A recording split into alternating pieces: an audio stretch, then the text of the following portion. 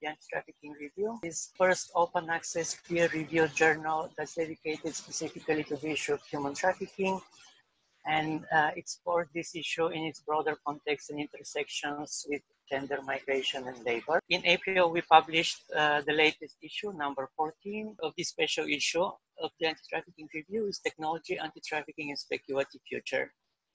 Can you share a bit about the motivation for choosing this theme and why it is important to study the role of technology in trafficking and anti-trafficking? And let's start with Jennifer.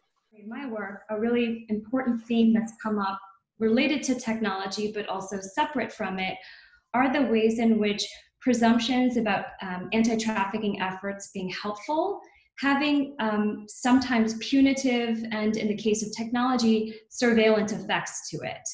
Um, so, if I kind of think about the motivations, it may be helpful to um, note for folks that are less familiar with the US social history around anti trafficking and technology that there have been many efforts to shutter websites way before FOSTA, SESTA, and other, um, you know, carceral or police oriented kind of efforts to um, to spotlight uh, places that are presumed to give rise to trafficking, specifically online classified ad sites, and the injurious effects of, of that work. So, in the simplest terms, I would say a motivating factor of this special issue is to say, what do we really know about what's being done in the name of um, anti trafficking using technology. So, what are the ideological and political effects?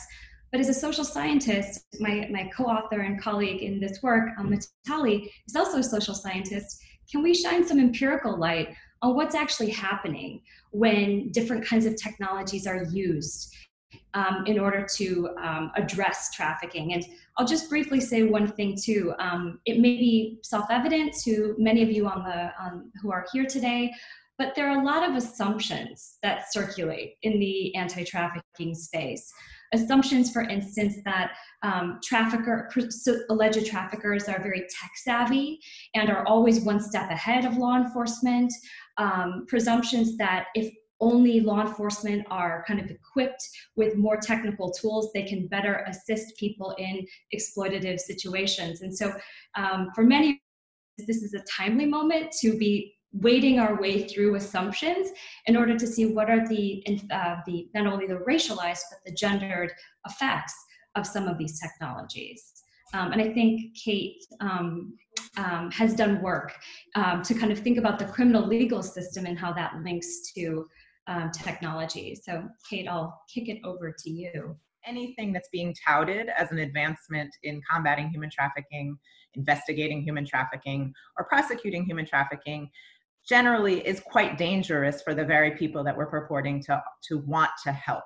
Um, and our whole legal approach within the US um, just continues to highlight that over and over again. So, in terms of thinking of technology, um, this goes beyond just shutting down a specific website or focusing on what's put uh, you know what what's disseminated on a particular website to what information is captured and what ways are people um, surveilled using technology and what ways are people's personal information surveilled uh, that we don't even know about for the most part but it's also um, sort of an opportunity, as Jennifer said, to reflect on this whole approach and who even is being labeled as a trafficker um, under the wide net that is often cast in the US. Um, and Leigh Goodmark and I work with many, many women who themselves have been prosecuted for sex trafficking, as our piece highlights edition, who then um, bear the burden of surveillance and enforcement in a very different way. And this is all this structure that was created to go at the bad guys. But I'm not sure that we have real clarity on who the bad guys are and whether we're getting that right, and we should be comfortable with that. This also goes back to just general surveillance of people in the sex industry. Um, and so, like one example that that always comes to mind when we're thinking of how information is can, is collected is um, people arrested for prostitution in New York City have their cell phones taken. The New York City Police Department then takes their cell phone information, often without consent and without a proper warrant. But even beyond that, even if they weren't sort of violating constitutional provisions on searching phones, um, they take the mere existence of someone's phone number and enter it into a sort of vast, a vast database containing phone numbers as a way to link people's social connections, link their conduct, and follow their conduct.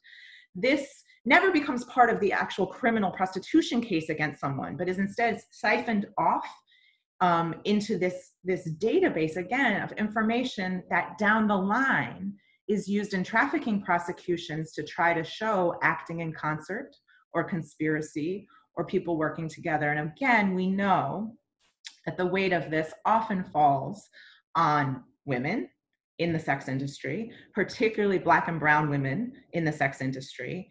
And what we're learning and seeing over the last many years is that in the US, it's those women who are being prosecuted on the state and federal level as traffickers and then are subject to all the things that Leigh and I talk about in our article and we'll talk about again later. So in terms of framing, um, just at the beginning of the conversation, whenever we hear something's an advancement in the fight against human trafficking, um, you should have my face in your mind saying this is probably bad and this is probably going to lead to the criminalization of more people.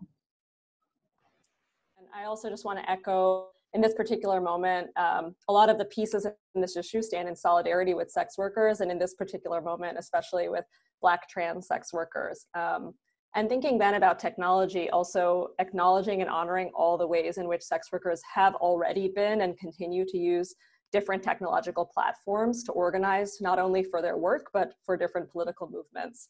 Um, so speaking of that, one thing we wanted to highlight is that there is a fundamental misunderstanding about what technology is and what technology does when we're talking about trafficking. Um, and in this issue, we understand technology as a range of different techniques. So not just the physical digital technologies, but different techniques that are organized by power and are structured by power. And an important thing to think about then is how technology is always co-produced with political and social relationships. Technology is not an external thing that just sort of operates on its own, right? But we must always think about different technologies in their political context and thinking about their racial and gendered arrangements um, in relationship to power. So one thing we've been seeing in the pieces in, um, in this issue highlight, and also mine and Jennifer's work has continued to highlight, is that we see the rise of tech solutionist moral entrepreneurs, right? So people who wield their technological expertise as ways to present um, potential solutions to anti-trafficking, right, or to, to trafficking itself. Um, and part of this ties into what Jennifer was saying earlier, that this idea that trafficking is this unwieldy and large issue that can only be dealt with technologically. So the moment that trafficking is positioned as a technological problem, it allows for technological solutions to sweep in, right, and offer to solve this issue. Um, when in fact, technology is a complex set of political and social relationships, and it's not something that can be done as a quick fix. Um, so one thing we're hoping is that this issue offers multiple concrete examples of the ways in which technological interventions don't actually pan out in this particular way, right, in this tech solutionist way. And in order to challenge different structural inequities that make something like worker exploitation possible, we also have to start understanding a more nuanced way of thinking about technology, um, not just as this external factor, but as something that's always implicated um, within power relationships. And this echoes a lot of work that's already been done around thinking about anti-trafficking as a quote unquote rescue industry, uh, as Laura Agustín says. Um, this idea that uh, we can just come in and save and solve a particular issue using technology is a fallacy. Um, and hope something that we hope that this issue um, will challenge uh, as, as some of the speakers today are gonna allude to.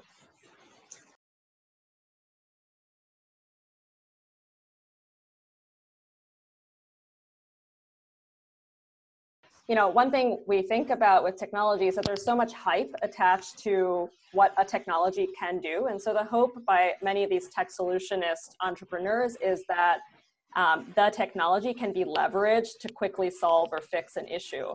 Um, so two of the pieces in this issue highlight the use of worker reporting apps, right? So apps that can be used to potentially reduce worker exploitation. Um, I wanna highlight um, Stephanie Limoncelli's work, right? And she's analyzing three different work worker apps for ethical consumption. Um, and she notes that there's a number of different problems with these apps, um, primarily that they reinforce this sort of neoliberal ideology that governments should actually play a limited role in solving some of the issues that make trafficking or exploitation possible.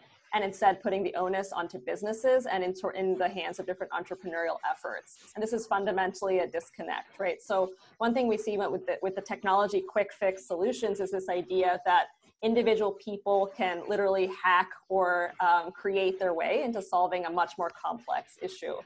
Uh, and on the other hand, we have Annie Fukushima's uh, article, which does analyze a worker app that is designed for and by workers and perhaps offers a different way to think about tech solutionism, right? That actually acknowledges not just the technolo technological platform, but the different workers that are involved and what sort of structural inequities they themselves are trying to challenge. And this, uh, this research used primary data collected from workers in San Francisco, right, in order to actually think about um, real ways in which change be enacted. So in that example, technology is used as a conduit, but is not the solution in and of itself.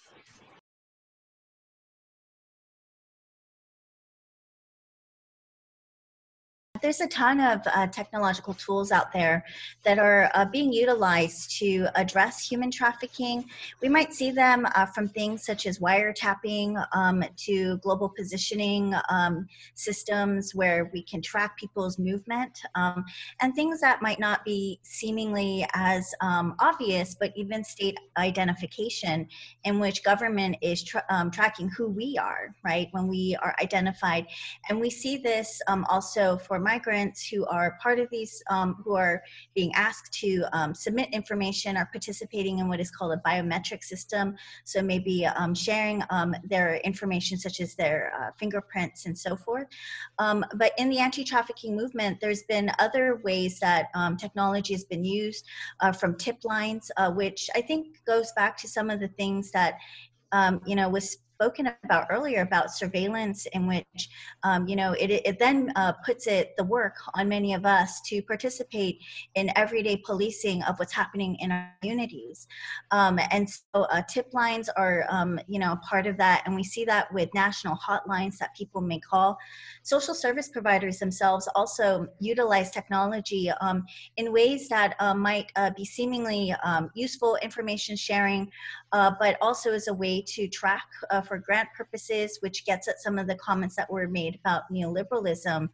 Um, but in my um, article, um, what I really wanted to focus on uh, was the way that, um, uh, you know, when we're looking at immigration and uh, the way that the nation imagines itself, how does it then use these technological tools to um, impact the very communities um, that crossing borders. And so uh, what we see is a range of technologies of um, border control from, you know, night vision goggles, CCTV cameras, um, a range of tools. There's just so many tools to surveil borders, both at the physical border as well um, internally um, within uh, the domestic um, scene. And so the technologies are quite uh, wide um, and ranging. And in my article, I interviewed with San Francisco folks um, to learn more about the way that um, their um, needs were being impacted. And what I learned from them was that, you know, um, in such a rich city, um, there was major disparities that were going on, um, as well as displacements, as well as ongoing policing and surveillance at the localized level, in spite of the fact that San Francisco is seen as a rich place. And so we see the kind of reality being produced ethical consumption apps. And these are apps that are really meant to um, help us, quote unquote, buy our way out of labor exploitation. Um, and these are apps that are developed by tech entrepreneurs, sometimes in conjunction with NGOs, but um, most often not. And they're aimed at consumers, providing publicly available information to help them make um, choices about the products that they buy. And these products might be clothing items, items, supply, uh, you name it. And what the apps do is compile publicly available information like news reports um, and uh, articles and so on to uh, help rank companies that are producing these items. those rankings might be a grade ranking like A, B, they might be uh, on a Likert scale from one to five. This way, consumers are supposed to be able to then decide what to purchase. The apps also helpfully provide links to other items that you can purchase in other countries. And this is all a very appealing idea. I think we've already alluded to this so far um, in the webinar, but it, it, basically gives us the idea that there's an app, it's a technical solution, it's an appealing solution, it's a simple thing, and it's also a pleasant and painless way, purportedly, to um, combat I'm going to be describing um, the article by Laurie Berg, Bassina Farbenblum, Angela Kintominas, um, who couldn't join us today because of the time zone difference. Um, so their, their piece is titled Addressing Exploitation in Supply Chains is Technology a Game Changer for Worker Voices. Um, and one of the issues that their piece is looking at, it's a worker reporting app um, based on literature review and interviews.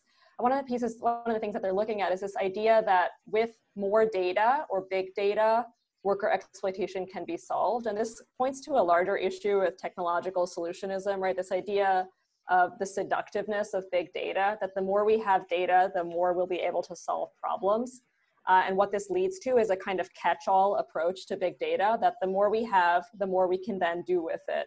Um, and what this article points to uh, is an example of this fallacy of this reasoning, right? So one of the things they found in this piece um, is that digital tools may not adequately capture all representative data about these workers, right? And that this data might be vague or superficial. And there's a number of limitations that they point to in this piece.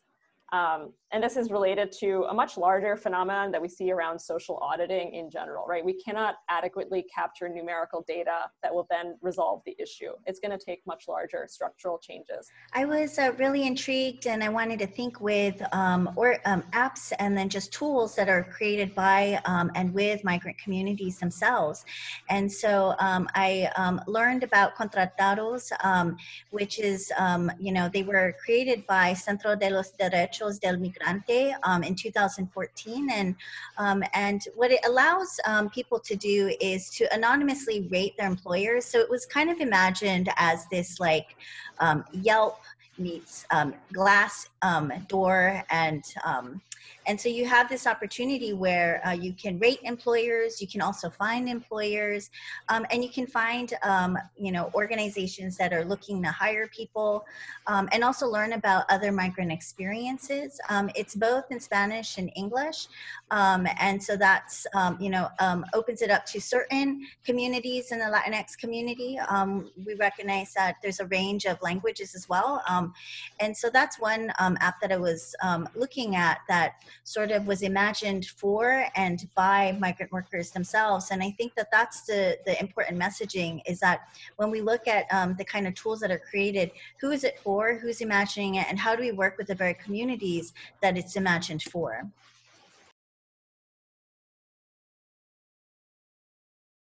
Count me a skeptic. Um, what I found with the apps there, there are several issues. There's practical issues with the apps, have to do with the information that is collected, how it's collected, and what is used. Um, the information is ad hoc, it's incomplete, it's often out of date, there's contradictory information. And all of this makes it really hard for um, the so, called experts to make decisions about what to purchase. And in fact, I think that's part of the problem is that um, we're shifting responsibility on holding companies accountable to so-called consumer experts potentially don't have the information that they really need to to make decisions. So that's one um, big problem. Uh, a second one is that the, the apps, nowhere in the apps or the, the information are workers' voices and experiences really represented. So I think this is in direct contrast to like what Annie is talking about, where the technology is being constructed on the ground, grassroots, bottom up, with the very workers that you're trying to help, rather than in the ethical consumption apps being constructed by a tech developer who's doing it from the top down, um, and the workers in that really more of the sort of the fodder that they're using for the app rather than partnering with so that's a second um, problem I think that apps face.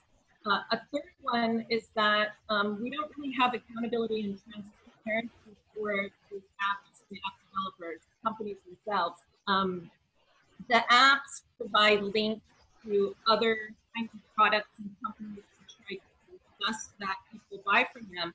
And in that way, they make um, a profit off of those links.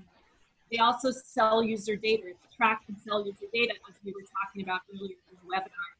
Um, and I think that that should put all users, um, all users should think about whether and how that information that's being provided on the app is actually useful um, and what's happening with the information that's being gathered on and then last but not least, um, as we mentioned, the assumption about consumption that they are based on that's really reinforcing neoliberal ideas about the role of government are highly problematic. Um, really, what these apps are doing is suggesting that social action shouldn't be social, it should be individual. And they're also suggesting that governments um, either aren't doing or can't play a role in helping to support worker organizing or regulate and some of the apps do this in a really explicit way, some of them do it implicitly, but in both cases, they're really reinforcing neoliberal ideas. And so for all of these reasons, got, um, I would like, as I mentioned, count me as about these particular apps. Um, I think what's needed, maybe technology can be really useful in circumstances like what Annie is studying, and we find these kind of grassroots efforts to use technology um, that can be useful. But also, I think we just need good old fashioned um, support for worker organizing and good old fashioned regulation. For folks who are looking for the, the title, this is again the article addressing exploitation and supply chain by um, chains rather by Berg et al. And what was so striking about their article, so much that I thought it warranted like direct quoting, is that you know there's a lot of um, interest among corporations in this otherwise very messy environment to kind of get to the heart of um, labor conditions within really complex global supply chains and so the kind of you could say incentive for different companies is to try to take this otherwise very complicated system and to apply some degree of kind of efficiency. So in their article, they talk a lot about like how tech is premised on this idea of being more efficient, cutting through the complexity. And a kind of watchword that circulates a lot in these data-driven efforts is the notion of objectivity, to objectively kind of um, audit or determine when and where exploitation comes in. But not only do they say that despite the gains or the benefits for corporations around kind of you know pr- promoting their own um, um, or rather staving off or preventing reputational risks when and where there might be exploitation in supply chains but they get to the the art um, the authors get to the heart of saying really these um, digital worker reporting t- tools diminish worker power. So i think that alone that not only do they maybe not prevent trafficking as one important piece but that they actually may um, delimit in very active ways collective organizing um, among workers is, is, I think, an empirical finding that really has purchase and certainly in, in, for me, you know, being interested in seeing how um, different kinds of tools that are kind of touted as empowering, um, getting back to what Annie said, like who actually owns and controls the data, how might the presence of a tool, even if kind of pitched as worker oriented, could really further um, create new types of exploitation. Um, and then really simply, and um, but I think impactfully, we really don't know the vast amount of data that's collected and where it might be used beyond the initial purpose and, and, and reason why it was collected in the first instance. And I think this is something Mitali and I have talked a lot about is not only what are um, these kind of data driven interventions doing to address trafficking, but how can the data kind of live in perpetuity and be repurposed and circulate and arguably kind of be a new type of currency in humanitarian work um, that there's no kind of like regulatory guardrails in many contexts to you know um, ensure data protection and um, individual uh, workers privacy i think are like first draft concerns but broader concerns are certainly the ways that these types of data might be used to further surveil and exploit workers. Um, so I think the, the kind of, they don't necessarily, in my reading of their work, they may say it's unsure, but I, I echo Stephanie's point about counting me a skeptic that this actually in fact translates into a prevention of trafficking. In fact, it could create another avenue for worker exploitation that we ought to be paying attention to.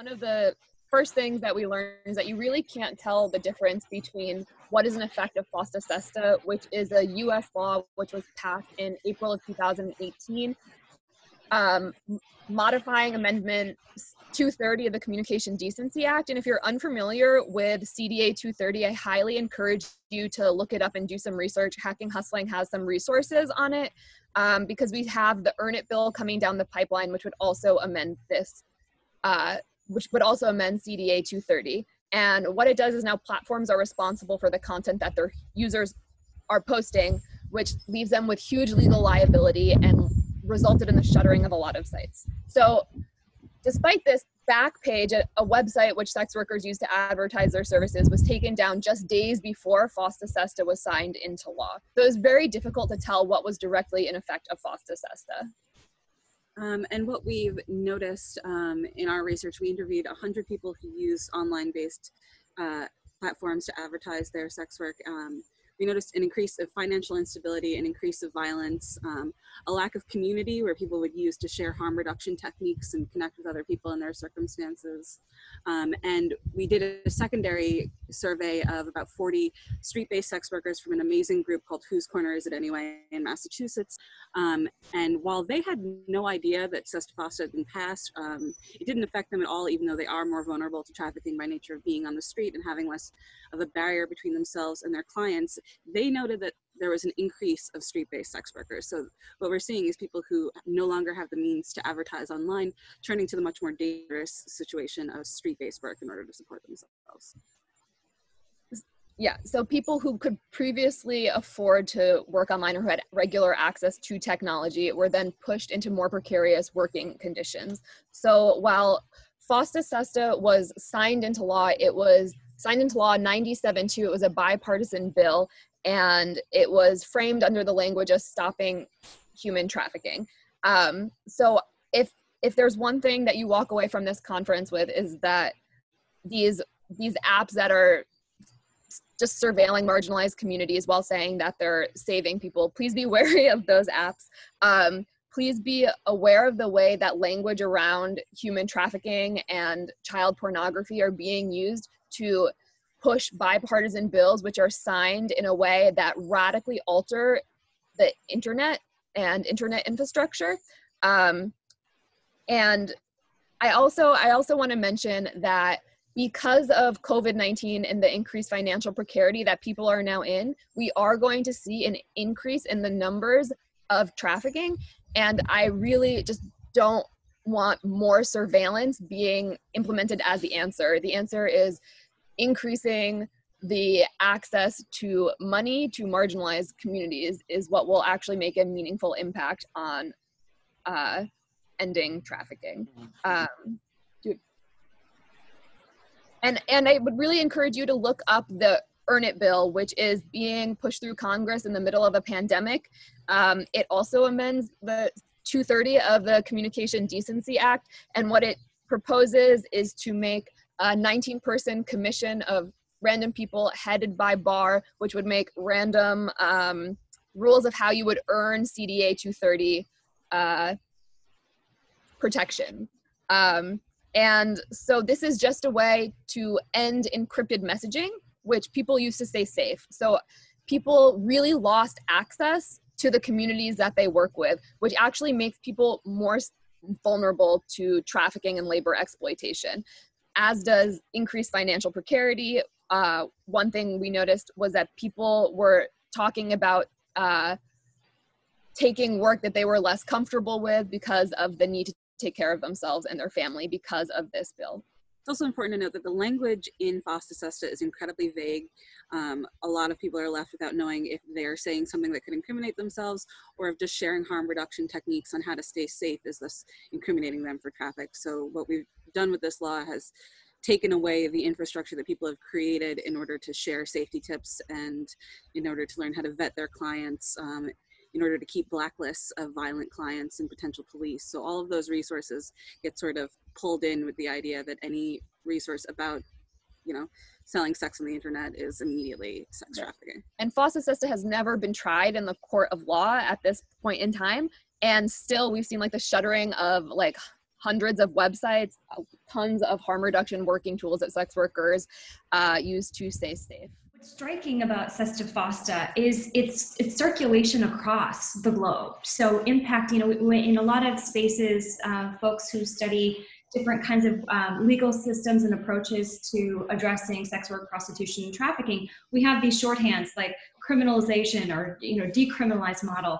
I think what's striking is that places like New Zealand have have had the, impact of FOSTA kind of um, impact workers there in creating restrictions. And one thing that I think, or many things that were said that are important. Um, um, uh, and shared by um, Danielle and Ariel in their piece and, and just now is like really taking seriously a range of harms. I mean, what I would call kind of networked harms. And, you know, in the critical trafficking space, we talk about the harms of the criminal legal system, so arrests or um, different kinds of punishment. But I think what they're pointing to and what sex worker activists have really importantly spotlighted that I certainly think we ought to pay attention to are a range of harms that might not be necessarily directly resulting in an arrest, but can lead to a kind of um, massive infrastructure of, of surveillance um, of which we're not fully kind of uh, not, not, we being all of us here but but we, there's not a lot of public discussion um, namely because some of these systems of response are proprietary um, and I just wanted to say briefly, we've talked about um, the importance of learning about Section 230. This is the Communications Act that was briefly described. But I think also in this moment where there's a global spotlight on police racialized injustice and harm, thinking about how um, technologies are being called upon to, to do a lot of the work of policing.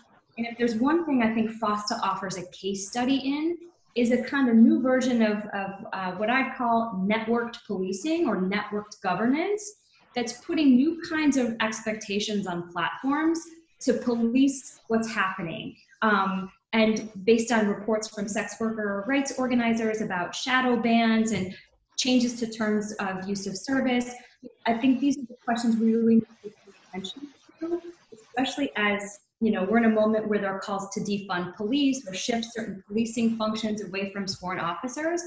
How are tech platforms and companies going to be asked to regulate their networks and to what effect? So there are a lot of ramifications to FOSTA that are um, focused on um, sex work and um, how to assist uh, people in trafficking situations, but also network policing trends beyond the case of trafficking. Uh, Sam, your article analyzes the shutting down of sex work websites, uh, but from a different angle. You compare the public reaction of the shutting down of My Red Book, a site used by female sex workers, and the shutting down of Rent Boy, a site used by gay male sex workers. So can you please tell us about your findings? Sure. Um, so I was drawn to this project because um, as well as you all probably are aware, these were two very similar sites. The only difference being um, that Redbook was mostly women sex workers marketing uh, or selling, offering services to uh, male purchase or clients, and Rent Boy was mostly uh, was male sex workers um, offering services to male clients. And so um, what was interesting was when these sites were shut down by federal agencies within barely two years is the public responses were very different. And what i was struck by immediately was the new york times which uh, as we all know is home to nicholas kristof and you know reams of uh, conflating trafficking with sex work and everything else like that. And so suddenly the new york times published this um, op-ed saying this is so terrible that Rent Boy has been shut down. These poor sex workers are not going to be able to sell their services and stay safe. And I thought, well, that's interesting because you haven't said the same thing about women in the sex industry, and especially almost two years ago when Redbook was shut down. So, what I did was I looked at the coverage, the media coverage, so a, a, a wide range of media um, from magazines to newspapers across the US, and uh, I looked at not only the volume of coverage, but what it was saying uh, as a way of gauging uh, the public response to these two uh, shutdowns. And as you can imagine, the responses were somewhat predictable. So there was uh, very little response to the My Red Book shutdown in terms of volume. It was mostly concentrated in West Coast newspapers. And a lot of the discussion was about exploitation and kind of this debate in the news about whether shutting down um, Red Book was going to make it more dangerous for sex workers or it was going to hamper the police's efforts to um, help to investigate trafficking. Uh, whereas when whereas when the Rent Boy website was shut down, there was a much more robust public response and uh, a lot of the discussion focused not only on issues of sex worker rights for male sex workers, but also LGBT rights. And you saw this huge outpouring of support from not only the sex worker community, but also the LGBT movement, which then I think calls into question some of the politics um, around sex worker rights organizing and the different alliances that sex workers have been able to make. And there's been a large critique of the mainstream LGBT rights movement that it has largely come to become increasingly white and to quote Evelyn Brooks Higginbotham, respectable. So focus on this idea of respectability politics, mainly around pursuing things like marriage and access to the military and cleaning up um, and making uh, neighborhoods safe. And so uh, what we see suddenly uh, in this uh, coverage of, of the Rent Boy closure was that suddenly um, gay men were not necessarily protected by their respectability politics anymore and that it was possibly time for them to develop more solidarities uh, with the sex worker rights community because um, especially the leaders of uh, rent boy who are, who are white wealthy men uh, their their whiteness and their wealth no longer protected them from the vice squad. And so the article i try to point to some possibilities for uh, sex workers and for mainstream um, LGBT organizations, especially to partner more in ways that they haven't in the past. Um, so basically, FOSTA SESTA the you know the the shutting down of sex work ads websites, uh, which was announced as a measure to combat trafficking, has been in place for two years now, slightly more than two years. Is there any data that trafficking in the sex industry has been reduced in the U.S. or you know uh, is there any data on the effectiveness of FOSTA SESTA? Um, I would put myself with Stephanie and uh, others in the skeptics camp. Um, there hasn't, to my knowledge, been any um, evidence that these shutdowns have abolished the sex industry, which was kind of the overriding goal of these initiatives. But what we do know is that um, sex workers are still arrested. Um, and we do know that uh, increasingly law enforcement tends to focus their efforts into online uh, policing, especially in the US, because that's where most um, sex work uh, exchanges take place. But um, as for, you know, has this eradicated sex trade, the sex trade and sex traffic, of course, of sex work more generally? Probably not. Um, and if anybody has some data show, showing that I'm wrong, I, I would really love to see it.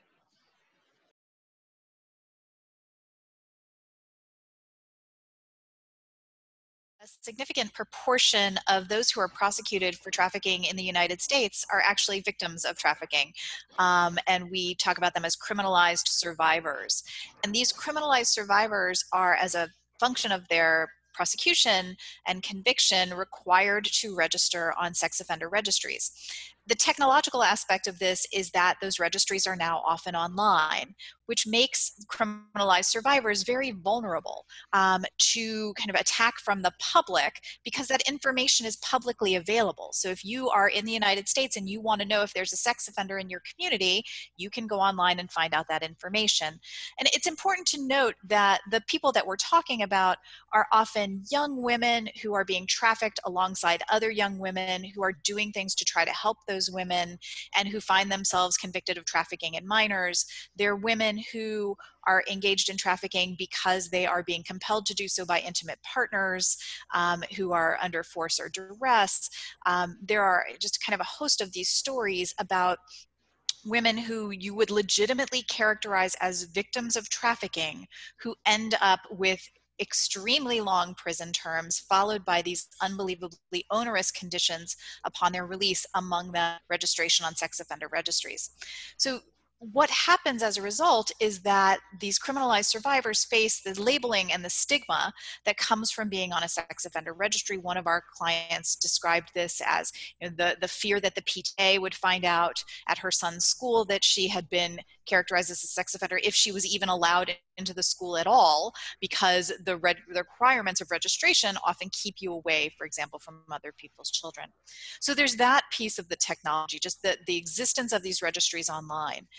But in addition, as a uh, condition of parole or probation, oftentimes those who have been convicted of sex offenses are are required to meet some fairly stringent uh, requirements as as refers to technology. So for example you might not be allowed to have in new york state you're not allowed to have a cell phone that has a camera or video.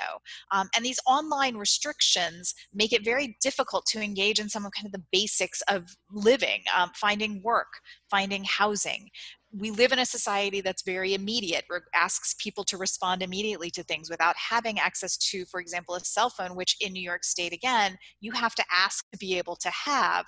It may be very difficult for you to respond to an employer's call to a housing, uh, to a call about housing.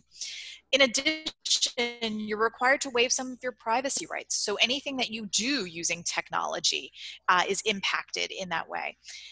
One fix for this that we've suggested is that states could decline to impose these conditions upon criminalized survivors. And there's a larger conversation to be had about the overuse of registries among all kinds of folks. But particularly for our piece, it would be possible for judges to say, no, these are not restrictions that are necessary given this set of circumstances. I think just we need to understand why this happens as well. And this is because of the mm-hmm. call from the anti trafficking industry to increase punishment for trafficking offenses. And so this is inseparable from sort of the heightened response, a heightened carceral response that's dependent on you know the criminal legal system for all of this. And it's these calls for punishment calls for punishment calls for punishment right? So now we have crimes trafficking crimes that come with all this mandatory punishment built in. And that's what we need to start to roll back. Um, so it's been a product of a lot of the advocacy around human trafficking in the US for the last 20 years, probably longer, that sort of continues to point to increased punishment as a solution. And what Leigh and I just point out is one, we oppose that across the board because we've seen its failures. Um, but second, if we're trying to do this in the name of combating human trafficking, we are making a grave error. Um, and so it is about the personal humiliation and punishment and surveillance that we describe, but it is also about a need to roll back this rush to just increase punishment over and over and over again.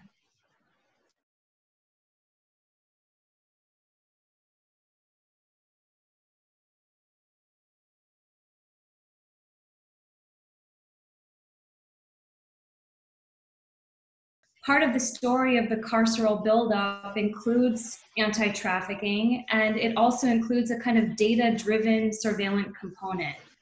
So I think in the critical trafficking scholarly um, activist spaces, there's recognition about how anti-trafficking has punitive strings attached. I think there's a, a really important and growing literature on that. I think what our piece shed some light on, though certainly I'd love it if there was more research on this, are the ways in which data and technology are kind of playing a role in that uh, in new kind of regimes you could say of punishment and surveillance that often tie together with language of protection. So um, i think kind of thinking about the data piece to it and you know there are some through lines with what we have found in our special issue that are consistent with um, insights from the critical trafficking studies field.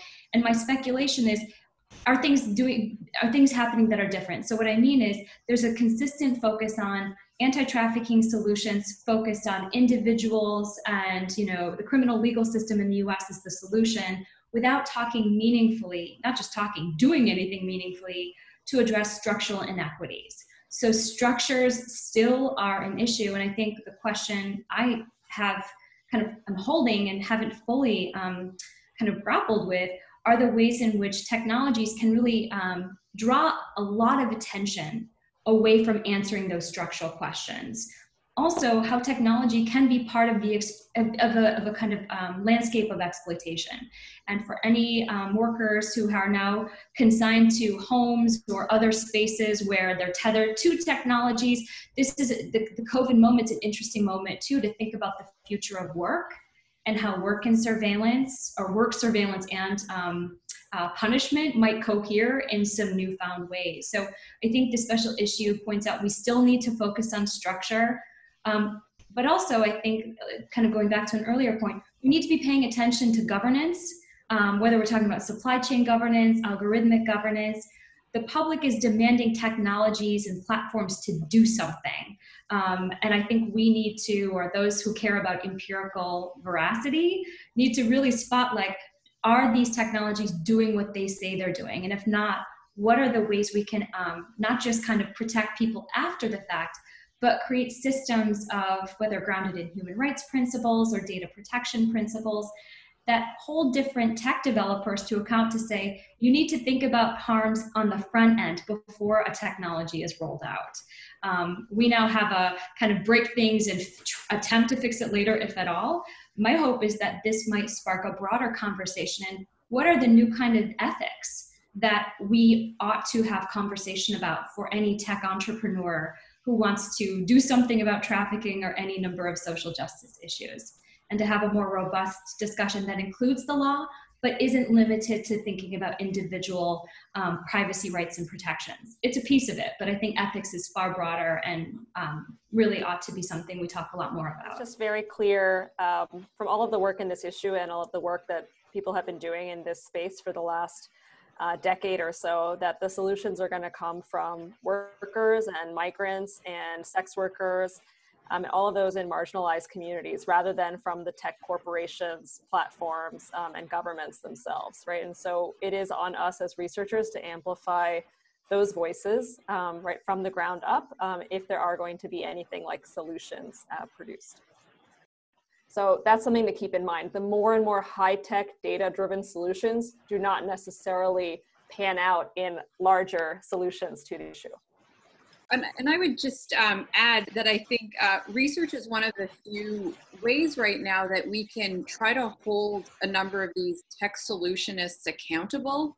Um, I just know in my current work uh, on celebrities anti-trafficking uh, efforts that um, in trying to do some research on Ashton Kutcher's efforts with his what's called spotlight technology to help law enforcement is that it's impossible to get any information um, about a lot of these um, apps and different technologies. And so I think um, the ways that we research uh, should not only be aimed at finding out information about how these apps work, but actually how to get information about the apps themselves and try to hold these developers who are you know, often shielded by layers of, of corporate and other protection uh, for, for how to how to figure out how to actually just get that information in the first place. For me, one of the biggest challenges for researchers is how do we actually access understanding and learning more about these technologies when um, there's a lot of gatekeeping and arguably kind of door shutting for scholars and researchers who might want to kind of have some clear empirical sense of what these technologies are capturing, what they, if they, if what they're aiming to do is what they're actually doing um, for anti-trafficking tech projects, we need to have a more robust framework um, grounded in worker, um, you know, work, worker rights, human rights, about um, requiring developers to have some degree of you know ethical um, risk management but also transparency about the tools that are being developed. Um, where there whether there's political will for that remains to be seen but I, I do think we need a kind of new animating framework to um, to really hold different actors to account because it is such a diffuse field and it's hard to um, properly research it where um, many people can say they don't want to cooperate with researchers.